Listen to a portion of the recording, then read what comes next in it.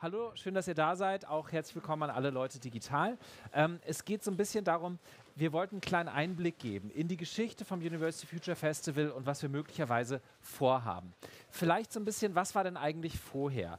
Bevor es das University Future Festival gab, ähm, gab es zu, in unserem Themenbereich einen Riesenhaufen Veranstaltungen bereits. Die waren äh, äh, allerdings verteilt, die waren teils klein und die hatten im Regelfall einen thematischen oder einen Zielgruppenfokus. Ich habe viele von diesen Veranstaltungen oder zumindest einige auch mitorganisiert. Und mein Gefühl war irgendwann, naja, wir brauchen eigentlich so den einen Ort, wo der Diskurs über Innovation, digitaler Wandel, akademische Bildung stattfindet, wo thematisch und zielgruppenübergreifend alle Leute zusammenkommen weil eben weder Themen noch Zielgruppen sind trennscharf. Da machst du eine Konferenz, die jetzt sich nur an die Leitungsebene von Hochschulen richtet, aber auch auf der Leitungsebene sind genügend Leute, die sich für Teaching and Learning interessieren, für didaktische Fragen beispielsweise. Das heißt, der Gedanke, den der sich bei uns so herausgesponnen hatte, es braucht sowas wie eine Republika nur für unseren Themenbereich. Wir haben dann 2018 das erste Konzept geschrieben, 2019 hatten wir die Finanzierung zusammen und 2020 folgte die erste Ausgabe. Ähm, wir hatten ein paar äh, Titelideen. Ähm, HFD-Festival war das erste, das ist es Gott sei Dank nicht geworden.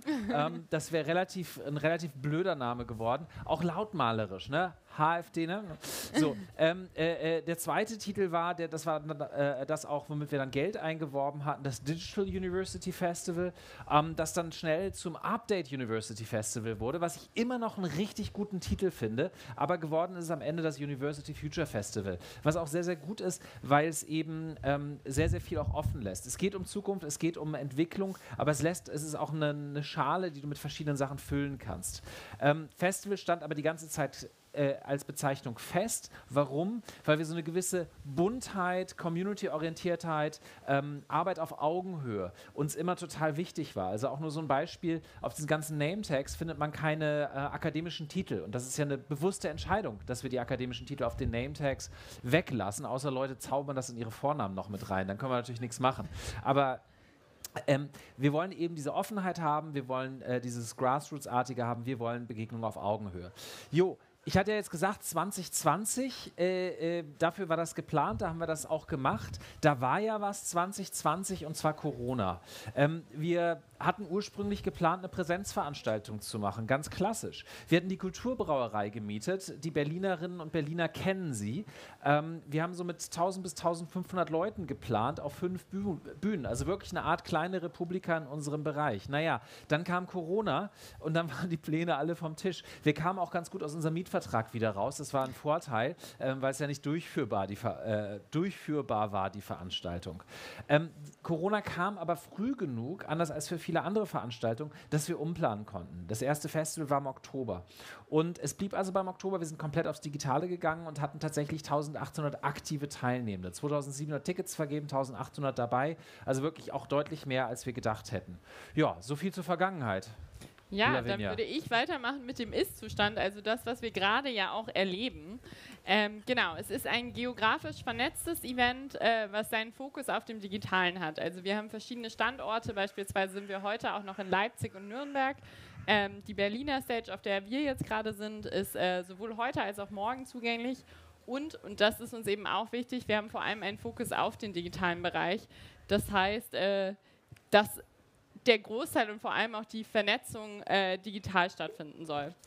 Genau, der Modus ist zumindest nach unserem Wissen bisher einzigartig. Äh, wir suchen immer mal wieder nach vergleichbaren, äh, ich glaube, mein Sound ist ein bisschen am, aber gut, wir suchen immer mal wieder nach vergleichbaren äh, Veranstaltungen, aber bisher haben wir noch nichts entdeckt. Also auch gerne mal in die Kommentare hier schreiben oder in den Chat, äh, wenn ihr eine Veranstaltung kennt, die ein ähnliches System fährt. Ähm, aus, unserem, aus unserer Sicht ist auch der Sättigungseffekt noch nicht da. Also wir wollen weiter, wir wollen weiter äh, Tickets.